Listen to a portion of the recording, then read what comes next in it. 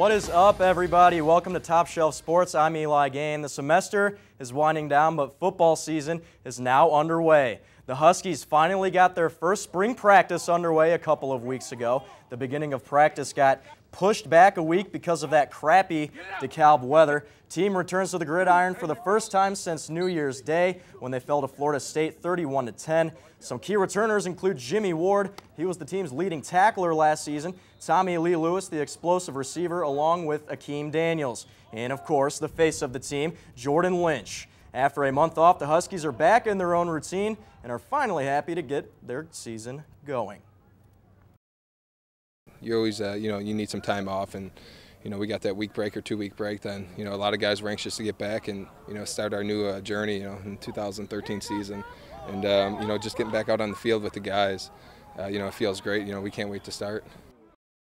So when a mid-level team is highly successful, you can almost guarantee the coaches will be heading out to bigger universities. That was the case after last season when former coach Dave Doeren packed his bags, went to NC State, taking some of the NIU coaching staff with him. This year, offensive coordinator Rod Carey got the promotion to be the head coach. The offense was one of the tops in the country last season under Carey.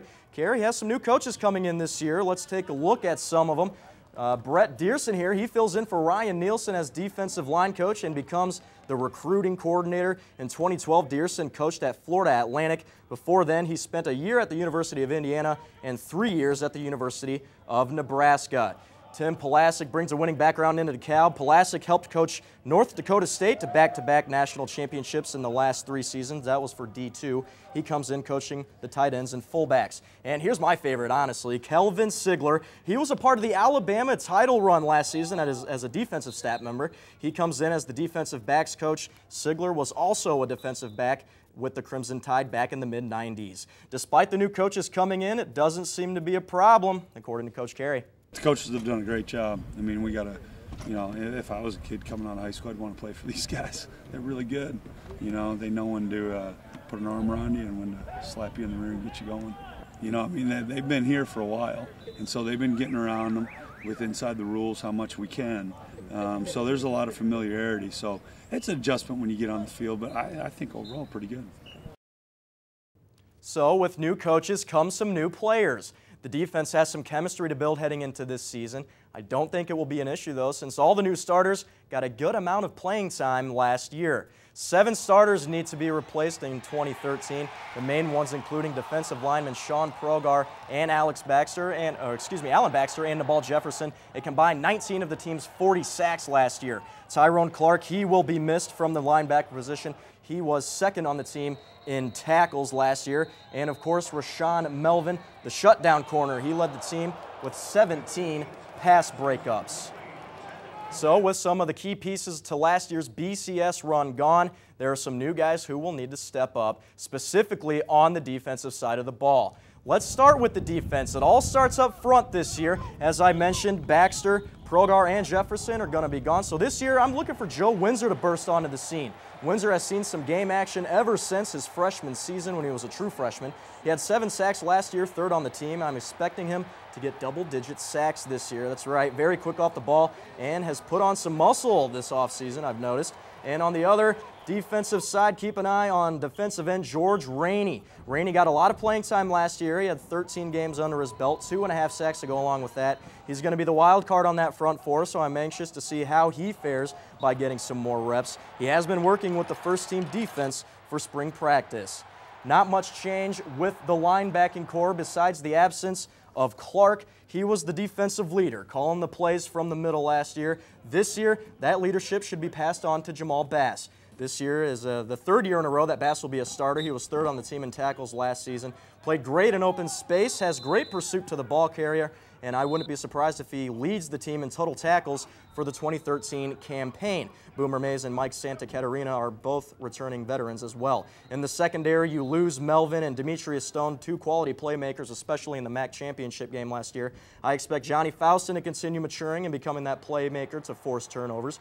And on the offensive side, only a couple of concerns for them. You got Lynch and five returning starters uh, on the offensive line. Let's put some pressure on the running backs, though. Akeem Daniels is the projected starter heading into 2013. He has been sitting out all of spring practice, but he will be okay. But I want everyone to get to know these two names. First, Giorgio Bowers. He came in last season, got some mop-up duty, and uh, you know, runs kind of reminds me of uh, Trent Richardson out of the former Alabama running back. He's got a great build. He's like a little muscle, ball of muscle. Also, Cam Stingley you know, switched from running back last year after playing linebackers. So far, both of these backs have had a great spring practice. On the outside, no more Martell, no more Perez Ashford. The guy I'm expecting big things from is redshirt sophomore Juwan Brescacin. Great size at 6'4", 220 pounds. Saw some action last year and had some big catches. Still need to, needs to work a little bit on his hands and learn how to fight for the ball a little more, but it's still early. AJ Sebastiano needs to become the player coaches thought he was when he came out of high school. AJ was one of the top Husker, uh, Husky recruits a couple of years ago, and now it's time to prove it. He was more of a special teams player last year as a punt returner, and he's got some speed, so he can definitely be a problem for opposing defenses in the secondary. Now, after those first two weeks, no more football practice anymore for the Huskies. NIU held their last run through Saturday in front of some fans for the annual spring game. Jordan Lynch was showing some great chemistry with new wideout Da'Ron Brown. Da'Ron Brown did get some playing time last year. They're expecting bigger things from him this year. This is the first play of the game. Lynch airs it out to Brown. He's going to make the nice little nifty catch here. Look at that. Beautiful right over the shoulders. Goes for 50 yards. Fans hoping for a lot of that this season between these two with no more Martell. Brown Showed some nice hands, had four catches for 58 yards. And then I want to show you, coming up on this next play, you want to talk about nice hands, talk about the nice concentration. Look at this catch by A.J. Sebastiano. I said he needs to make some big plays like this. He did it on there. Beautiful grab by the redshirt sophomore. That wouldn't be his only highlight, though. NIU, hey, we have some other quarterbacks besides Lynch on the team, believe it or not, and they can run. Here's backup Matt McIntosh doing his best Lynch impression, goes 50 yards untouched. He had 57 total yards on four carries. And then here's Sebastiano again. His second touchdown grab from third string quarterback Drew Hare. Hare had a great game passing, completing 14 of 17 passes for 150 and two touchdowns. Sebastiano finished the spring game with seven catches for 95 yards. Now you know the offense pretty much runs through number six. Lynch beasted last season, putting up just over 5,000 yards of total offense. That was his first year as a starter. So what are the expectations for him this year? Will he break those records? Will he even come close? Well, Lynch isn't worried about any of it. He's hungry for some more W's. After all the spotlight put on NIU last year with the second straight MAC title game, getting a BCS Bowl berth, Lynch himself opening eyes to Heisman voters, and of course, Doeren leaving before the biggest game in NIU history. Jordan Lynch says he is ready to embrace the target put on NIU's back heading into 2013.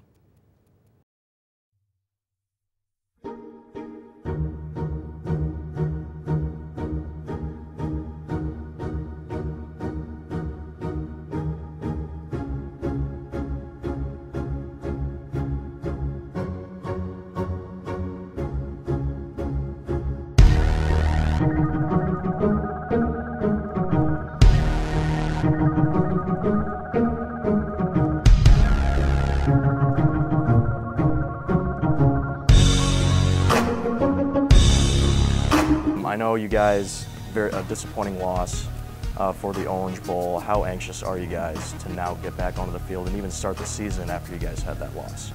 Yeah, um, you know, the last game you play, you always want to win and send your seniors out the right way. And, you know, last game we played, we lost, so a lot of us are, um, you know, anxious to get back out on the field, you know, against Iowa and, um, you know, take that loss out and um, you know uh, end up with a victory. Has the pressure been put on you guys a little bit more now that you guys have went to the Orange Bowl as a mid-level conference team? Yeah, I would say the target's on our back. Um, you know, every time we play a team, they're gonna uh, we're gonna get their best shot. You know, they're gonna get our best shot too. So you know, a lot of teams know about us now playing on the big stage, and you know, a lot of uh, teams are gonna come you know pretty hungry for us.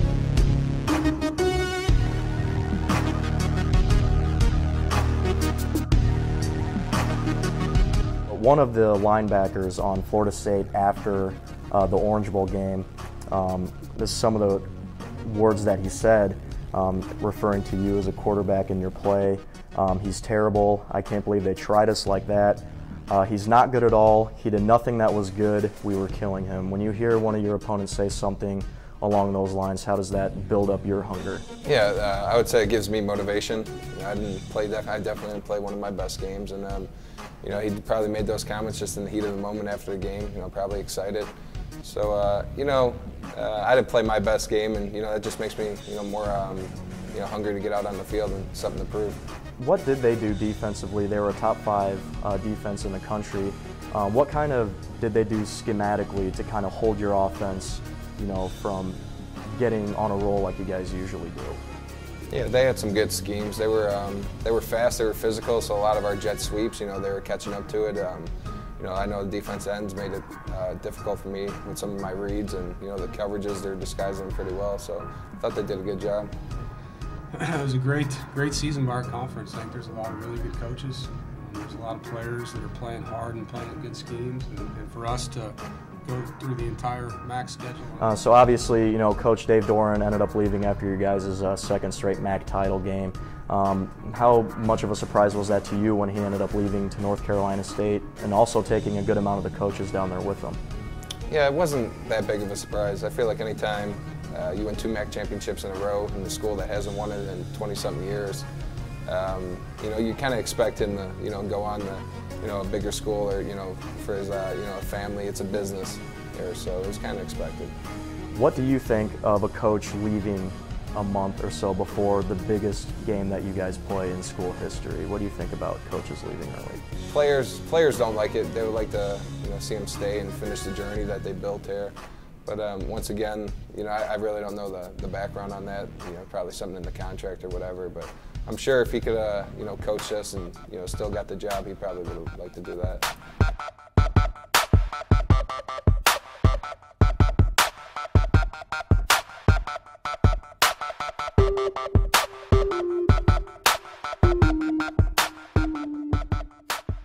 Now, last year, you know, you came in, you filled in the shoes for Chandler Harnish, who was setting records left and right. You came in and just shatter those pretty much.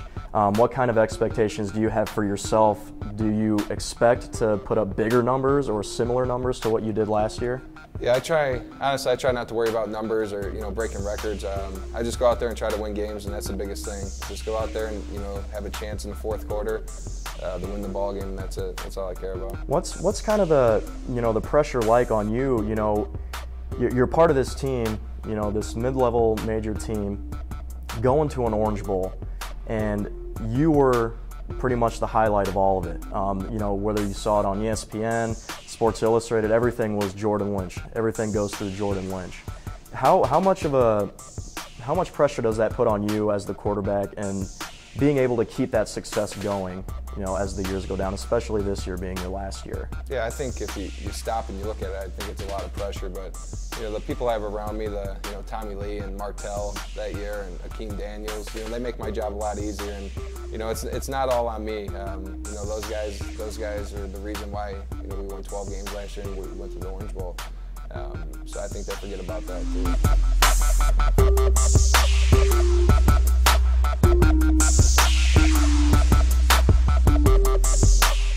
Uh, kind of talk about Martell. Um, you know, you guys were clicking on all cylinders last year. It seemed like you guys, you know, hooked up with a lot of big plays. Um, so far in spring practice, in the first couple of weeks, how, has you, how have you been able to adjust to the new receivers that you have around you without Martell being out there on the field? Yeah, um, Da'Ron Brown and Juwan Brescacin. I know they got playing time last year, and you know we've been working all off season, a few nights a week. You know, just um, working on our chemistry with some routes, and you know they've been doing a real nice job, and I feel comfortable. And you know they have uh, nice, soft hands, smooth hands, and you know they make some plays for us.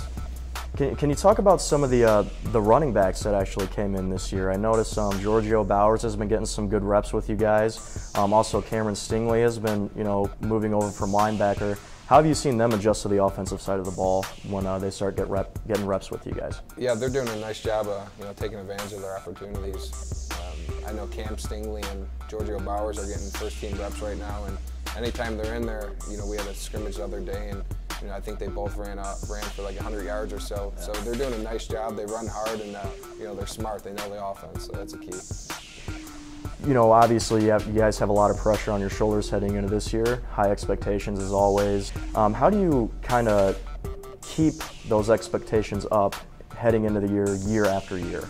Yeah, we have to, you know, keep our guard up and stay hungry. You know, we can't let down. The minute we let down for a second, then, uh, you know, another team takes advantage of it and, you know, they get a, you know, better work done than us in that uh, practice or whatever it is. So, uh, you know, we just need to stay hungry. That's our biggest thing. Jordan for coming in to talk with me. The next time we'll see the Huskies in action, competitive action, will be in the beginning of September when they look to avenge the loss that they had at Soldier Field last year against the Iowa Hawkeyes. When Top Shelf returns, I'll get you caught up with the baseball and softball teams. Stay right there. I'll be right back.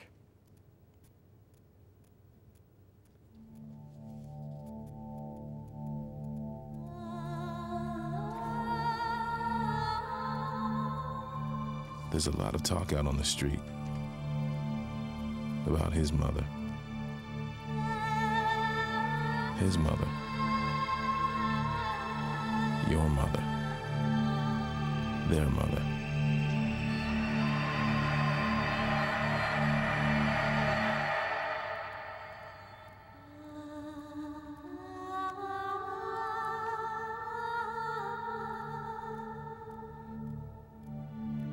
But in the end, is anyone really even thinking about them?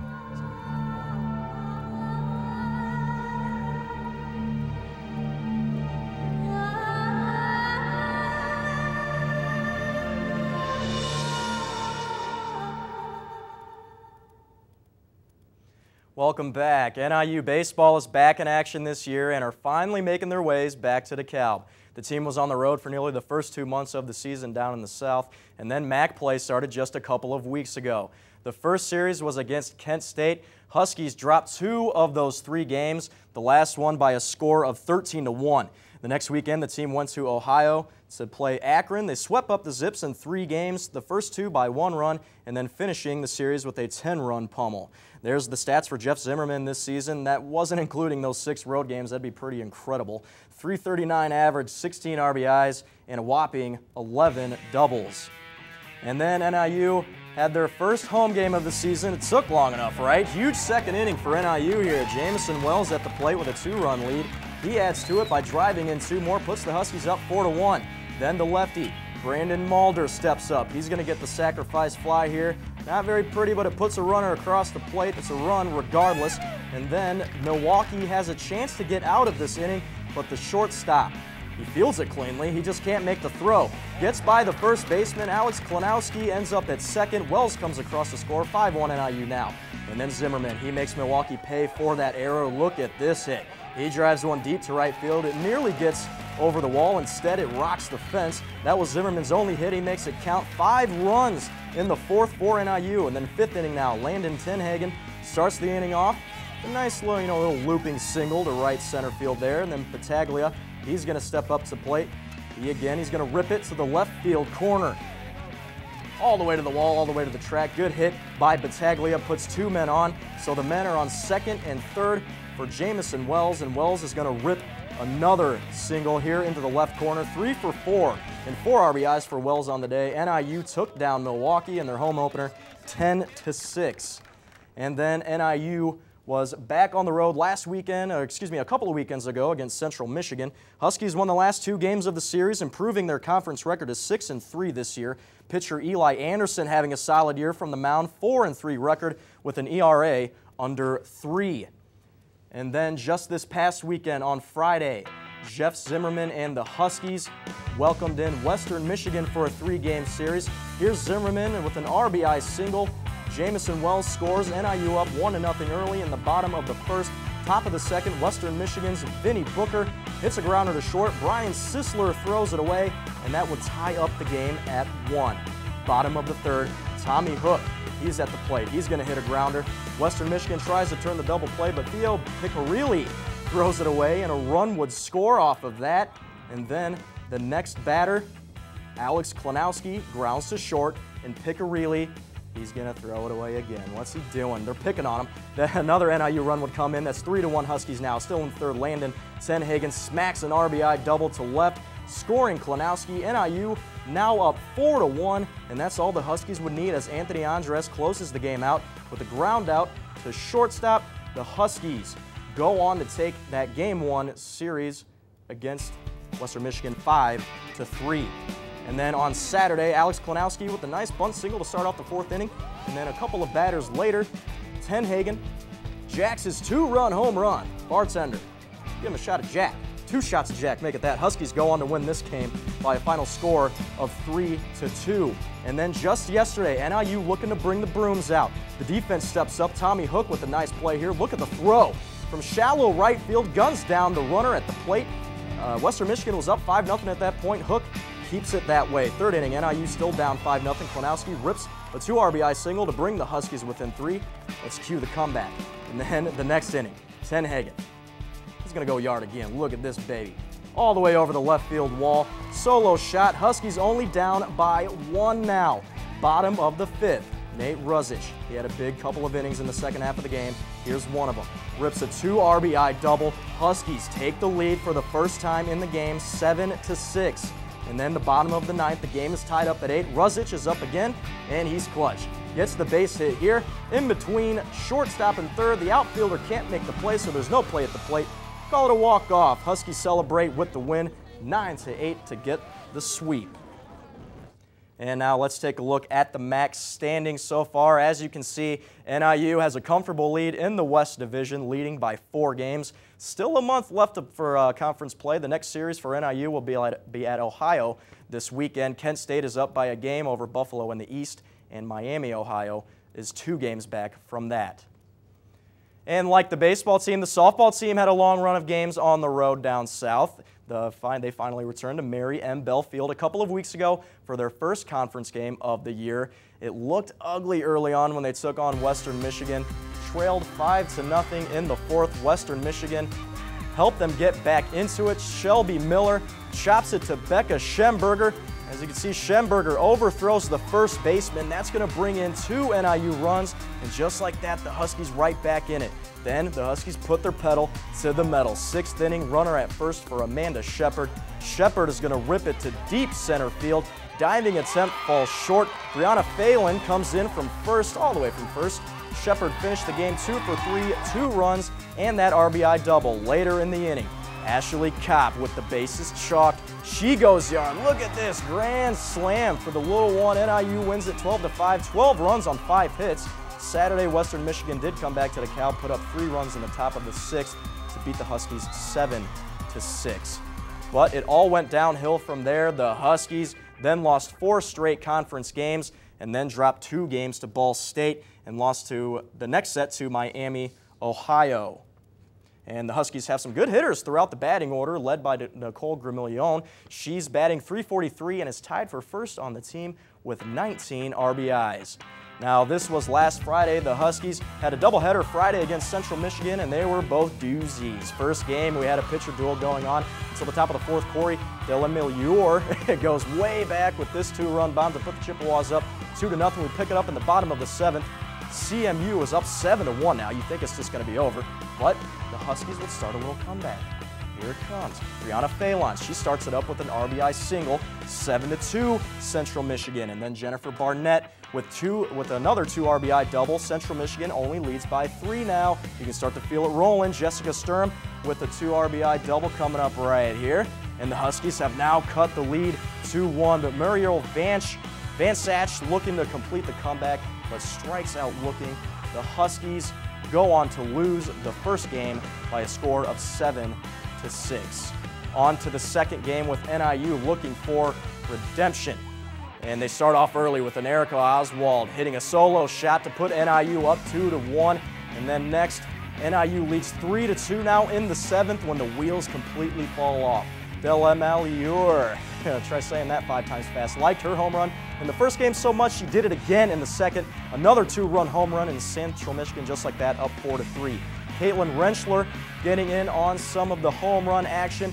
She's going to drop a two-run bomb to make it 6 to 3, and it wouldn't stop there. Next batter, Trista Cox. She likes to do it by herself. She doesn't want anyone on base. She hits a solo shot, and Central Michigan will run away with this one 7 to 3. Huskies had no time to think about their loss, though, as they were back in action the next day against Eastern Michigan. Katie Blaharski gets the Eagles on the board with an RBI ground out. A little confusion here by the NIU defense. Look at this. Leads to Courtney Lowe, but despite giving up a couple of runs in this game, NIU would come back and go on to win it 6 to 3. The Huskies were looking to sweep the Eagles, trying to bring the Bruins out for yesterday. First inning, Jennifer Barnett. The nice bunt here, playing Phelan.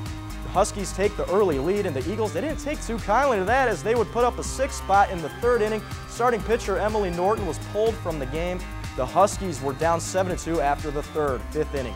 NIU beginning to rally. Erica Oswald gets the two RBI single to cut the lead 7-5. There it is, right up the middle. Two more runs. The lead is two for uh, Eastern Michigan. Sixth inning now. Ashley Kopp draws the bases loaded walk to tie the game up at seven. And then the bottom of the seventh, Shelby Miller, she ain't looking for extra innings. She hits the homer, and it's time to celebrate the walk-off winner, just like the baseball team the same day. Huskies take it 8 to 7 to sweep the weekend series against the Eagles. Here's a look at the softball standings. Different story for the Huskies in this list compared to the baseball team. NIU second to last in the West Division. NIU has another long homestand coming up next week when they host Akron and Ohio. Kent State again on top of the East Division along with Miami, Ohio. The men's and women's team got off to a great start to their season. They played a majority of their matches in Rockford before coming home to DeKalb a couple of weeks ago. The men's team had its first DeKalb match a couple of weeks ago against Western Michigan. NIU battled hard but were unable to pull off the victory against the Broncos. They fall 5-2. On a positive note, Frederick Cadieux won his eighth straight match against Ross Vandenploeg. Since then, the Huskies have won two of their last four matches. And the women's team had two matches that same weekend as the men. They fell to both Bowling Green and Western Michigan. NIU was 0-6 in MAC play after that great start to the season going 12-1. The Huskies return to DeKalb for two matches this weekend against Ball State and Miami, Ohio. And the NBA playoffs are just around the corner, and the, ball, and the Bulls are still battling the injury bug. Seems like there's always a different lineup on the floor for Chicago, so Bulls fans are keeping their fingers crossed to have a majority of the players healthy once the playoffs come around. As of now, the Bulls hold the sixth seed in the Eastern Conference. If the season ended today, Chicago has a matchup with the division rival Indiana. Miami ran away with the top seed a long time ago with the help of that 27-game winning streak. That Chicago snap, by the way, keep that in mind. Two more games this season, Chicago and Orlando tonight, and we'll wrap up the season Wednesday against the Wizards.